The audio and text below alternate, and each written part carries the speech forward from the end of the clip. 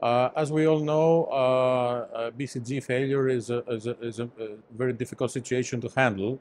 Uh, radical cystectomy is the gold standard, but we see emerging treatments about bladder preserving strategies. So uh, we made a simple hypothesis that if we use uh, intravesical immunotherapy, we have good results in this setting of patients. So we used intravesical administration of durvalumab in uh, BCG uh, refractory patients. It was actually a phase 1-2 trial. Uh, it included an initial phase 1 to develop the maximum tolerated dose. This phase ran smoothly. We started at 500 milligrams and we went up to 1000 milligrams with no dose limiting toxicities.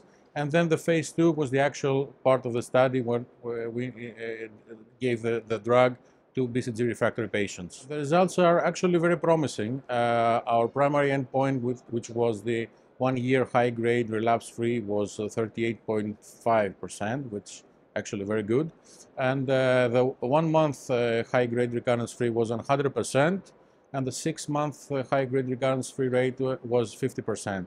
And uh, the, the, the, most, the most important is that the, the durvalumab intravesically administered was very well tolerated. We had no grade 3 or above toxicities uh, and was easy to handle from our part and from the patient's part.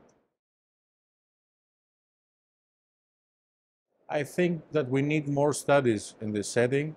Uh, single-arm studies maybe not be efficient.